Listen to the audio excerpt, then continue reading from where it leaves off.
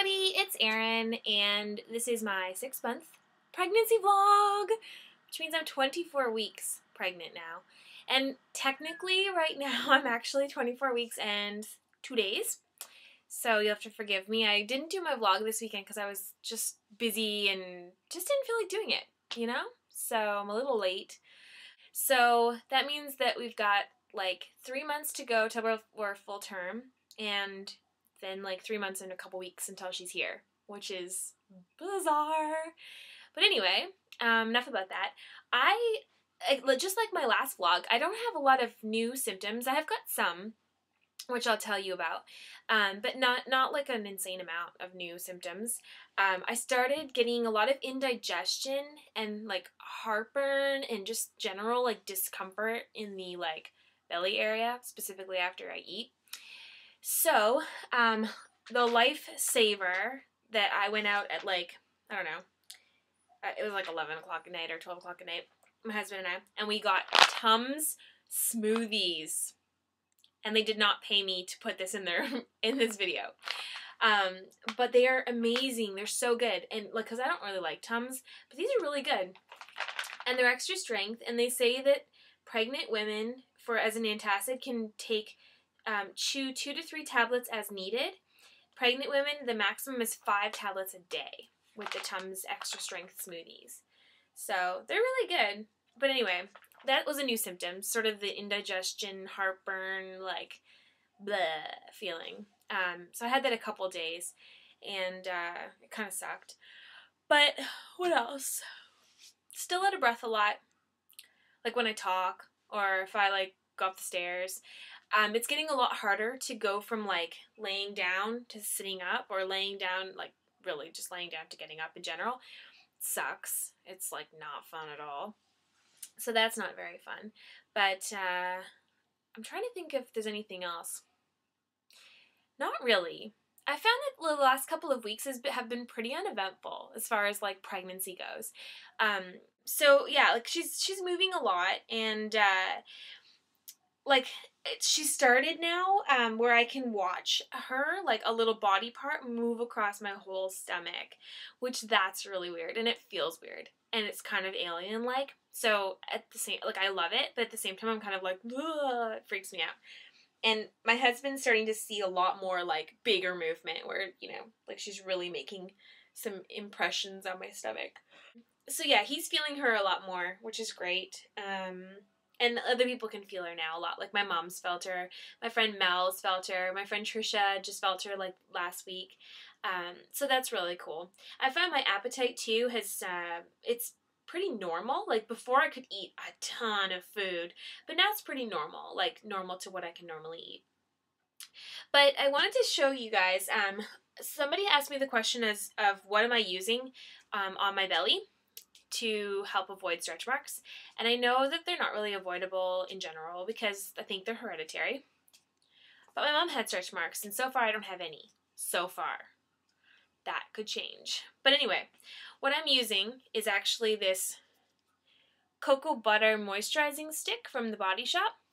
Now, what I love about this is like literally you open it and like you just twist it and then this you just rub on your belly. So I like it because you don't have to touch anything. Like your hands don't have to actually touch the cocoa butter. Um, and it's been really good. So like I have a lot of days now where I feel really tight. Like I literally feel like my belly is gonna rip in half. So um, when I get days like that, or even nights like that, or whatever, I just go grab this, put it all over my belly. Boom, feels so much better. So that's awesome. And then someone else asked me what I've been using to kind of like track my pregnancy. Um, and of course, I like I use um, my vlogs, and I also have a pregnancy journal. And I also have I use this app. Um, it's called Baby Bump. It's by Alt Twelve, so it's the Baby Bump app, and it's really cool because like each week it'll tell you like the size of your baby, the baby's weight, kind of what's going on with your baby etc. And then you can add pictures to the app, which you can take just using your iPhone if you want.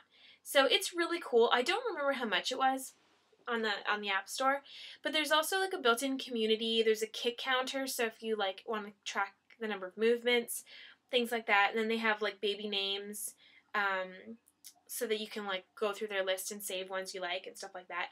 But anyway, that app's really cool. I like it. It's called Baby Bump. And if I can, I'll put a link in the description where you can find that. And then I had to show you guys some of the stuff my dad bought um, the baby this week, or last week, I should say. So cute. So he got her this um, five piece set, which is purple, and I don't have a lot of purple for her, which is nice. So um, it's got like the cutest little um, rabbit, and then it comes with a, a long sleeve onesie and a pair of pants with feet, and then the cutest little striped sleeper, which I love, and then a little t shirt with this love me.